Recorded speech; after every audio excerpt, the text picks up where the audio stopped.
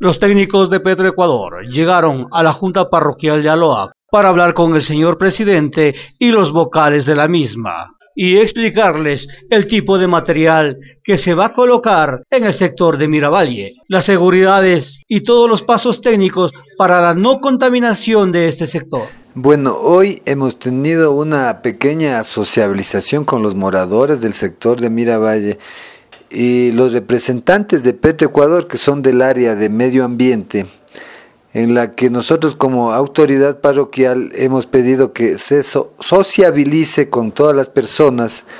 con las autoridades, para que sepan si es que no es un material contaminante como ellos lo expresaron el día de hoy, yo pienso que no tenemos por qué oponernos al desarrollo. Pero si es un material contaminante, nosotros veremos a través del Consejo Provincial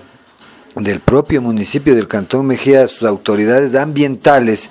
que vengan y se haga un estudio para que toda la gente pueda estar tranquila y no haya pues ninguna incertidumbre que algunas personas van a tratar de dañar, sea a favor o en contra. Entonces por eso el día de hoy hemos sociabilizado con toda eh, con todo el barrio para que la gente sepa, se les ha dicho a los técnicos que tienen que dar la explicación correcta y lo que hemos hecho que para el día lunes de la otra semana van a venir los técnicos y va a haber pues un pequeño foro, hablemos así, una entrevista y van a dar las explicaciones de lo que se va a hacer en este espacio. Por eso vamos a pedir al municipio, vamos a hacer una carta al Ministerio del Ambiente para que toda la gente pueda estar tranquila y vean que este proceso, como dicen que es de remediación ambiental, entonces, si se habla de remediación, es que no va a haber contaminación, sino va a haber una remediación del medio ambiente. Entonces, hemos quedado que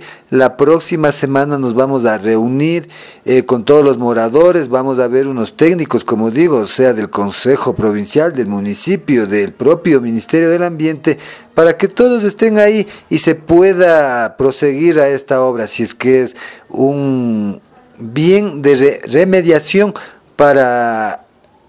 el aire para todo el planeta, porque no podemos permitir que vengan y nos contaminen más aquí en la parroquia de Aloha.